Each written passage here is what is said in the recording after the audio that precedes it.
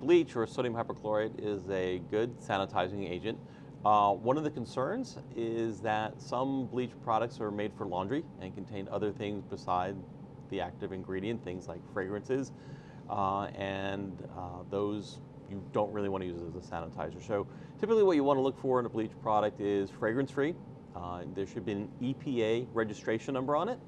Uh, that means it's made to a, a certain standard and it's been approved. And then what we want to do is dilute it down to a usable concentration that's safe and it's going to be effective.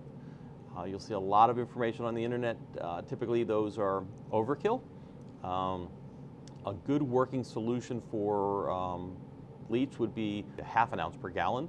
Uh, if you have uh, a lot of soil or dirt, you can actually use one ounce per gallon. Um, for smaller volumes, maybe um, one mil or 20 drops out of an eyedropper into a liter will make an effective uh, solution of about 50 part per million. Uh, so again, you don't want to make it too concentrated. You'll get a lot of off odors and um, could stain uh, different types of countertops. And again, uh, most people tend to overuse chlorine bleach.